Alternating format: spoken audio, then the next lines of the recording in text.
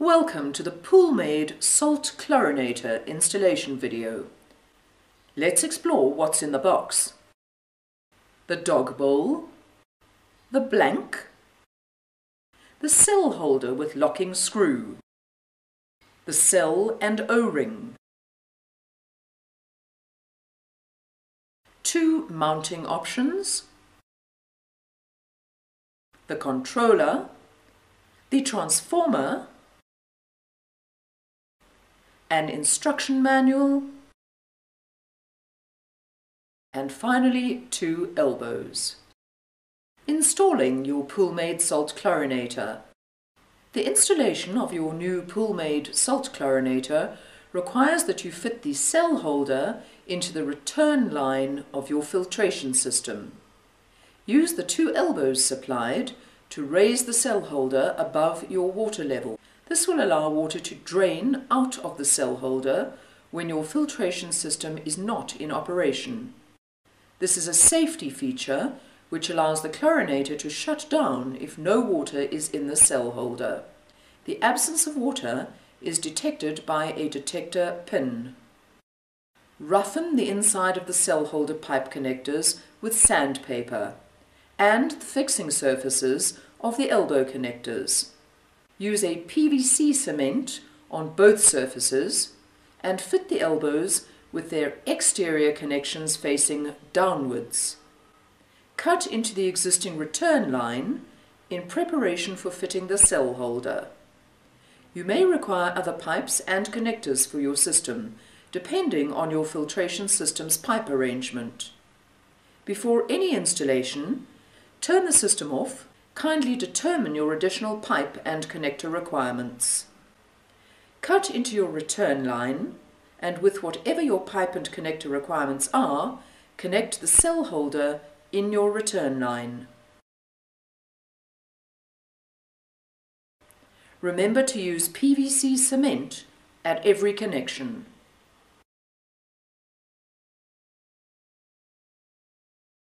Also remember that the cell holder needs to be fitted above water level.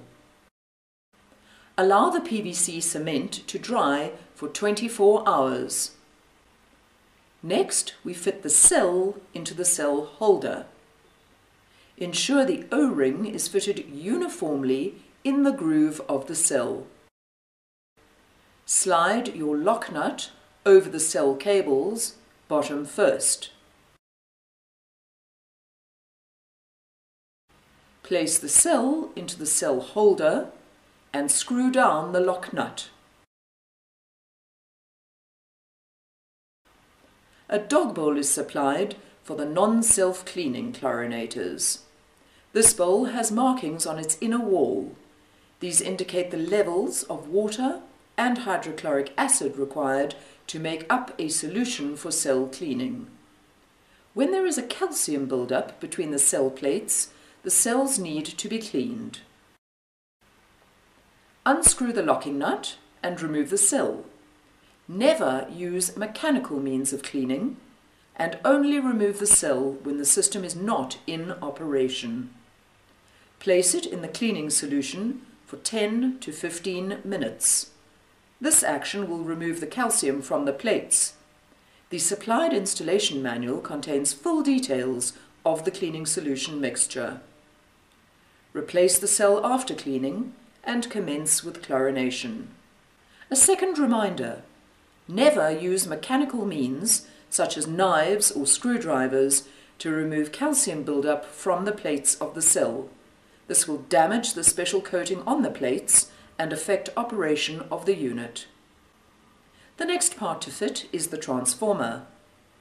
Using the correct screwdriver, remove the screw located in the center of the terminal connector cover. Lift off the cover, exposing a quick connector. Connect the lead from your controller to this quick connector inside the transformer. You will hear a definite click sound when they are correctly married.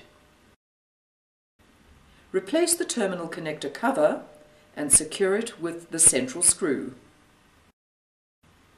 The transformer must be mounted above ground level by means of its mounting bracket. Screws are provided in the kit.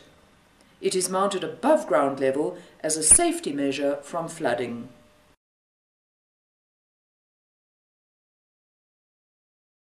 The transformer has a built-in 1 amp fuse. This fuse is easily replaced by pulling it out of its socket and pushing a new fuse in. The transformer has a 16 amp plug for its supply voltage. Be warned, if you do not have a supply socket that this plug can be inserted into, you must engage the services of a qualified and certified electrician to install one for you. The cell should now be connected to the controller. Simply take the cell lead and plug it into the quick connector on the controller. There are two mounting options supplied with the controller, the wall mounting bracket and pipe clips for mounting the controller to one of the pipes. For the wall mounting bracket, slide the bracket onto the back of the controller from the bottom. Use the bracket screw holes to mount it to the wall. Alternatively, you may clip the pipe clips into the slots in the wall mounting bracket. Slide the bracket onto the back of the controller from the bottom and clip the controller to one of the pipes on your system. Now that everything has been installed and connected, apply power to the system. You should see the green indicator on the transformer light up and the display of your controller light up. Each time you press the on-off switch on your controller, the amount of chlorine produced will be increased according to the level indicated on your display. The center display indicates the current salt level of your pool, which could be high, correct, or low. The bar graph is another indicator of the amount of chlorine being produced. This is just a quick check of correct operation. Remove supply power and introduce salt into your pool. The last part of the installation is the introduction of salt into your pool.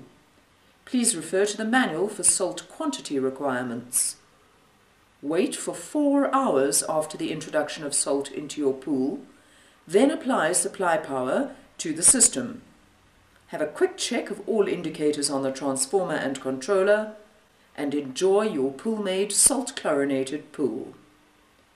Well, that's all on the Poolmaid salt chlorinator. May you enjoy a forever sparkling clean and hassle-free pool with Poolmaid pool products.